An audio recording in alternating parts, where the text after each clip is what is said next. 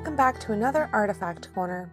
Today we will be looking at an engraving of our first president, George Washington. This engraving was created by a man named W. Warner, and it is based on a painting that was done by Colonel John Trumbull. The original, titled George Washington at Trenton, per the inscription at the bottom of the engraving, is at Yale College, and that is where the original painting remains to this day. So, why do we have this? Well, Henry Delord was a huge fan of George Washington and emulated him in many ways. It's not surprising that Henry would have an engraving of Washington. So, who was John Trumbull, the man who created this iconic image of Washington? Let's learn a bit more about John Trumbull. John Trumbull was born on June 6, 1756, in Lebanon, in the colony of Connecticut, to Jonathan and Faith Trumbull. His father actually served as the governor of Connecticut from 1769 to 1784. He had two older brothers, Joseph Trumbull, the first commissary general of the Continental Army in the Revolutionary War, and Jonathan Trumbull Jr., who became the second Speaker of the House of Representatives. When he was five years old, he had a bad fall down a flight of stairs and bruised his left eye. The bruise healed, but he had lost sight in his left eye. In 1771, at the age of 15, he started his secondary education at Harvard College.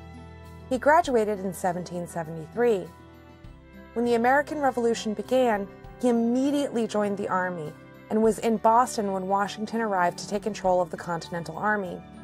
He did scouting missions to sketch the British lines, he witnessed the Battle of Bunker Hill, and was appointed second aide de camp to General Washington. He resigned from the Army in 1777. By 1780, he was practically penniless and decided to make art his livelihood. In 1780, he traveled to London to study under the well known artist Benjamin West. It was West who suggested that Trumbull paint scenes from his time in the Revolutionary War. On September 23, 1780, British agent Major John Andre was captured by the Continental Army troops in North America. He was hanged as a spy on October 2, 1780. After news reached Great Britain, outrage flared and Trumbull was arrested for treason, since he was known to be an officer in the Continental Army and of similar rank to Andre. Trumbull was locked up for seven months in Bridewell Prison. Following his release, he sailed back to the United States. In 1784, following the end of the American Revolution, he traveled back to London to resume his tutelage under West. He then traveled to Paris and spent time with Thomas Jefferson. Trumbull's Declaration of Independence painting was purchased by the United States Congress, along with three of his other Revolutionary era portraits. Each of these portraits now hang in the United States Capitol Rotunda at the United States Capitol in Washington, D.C.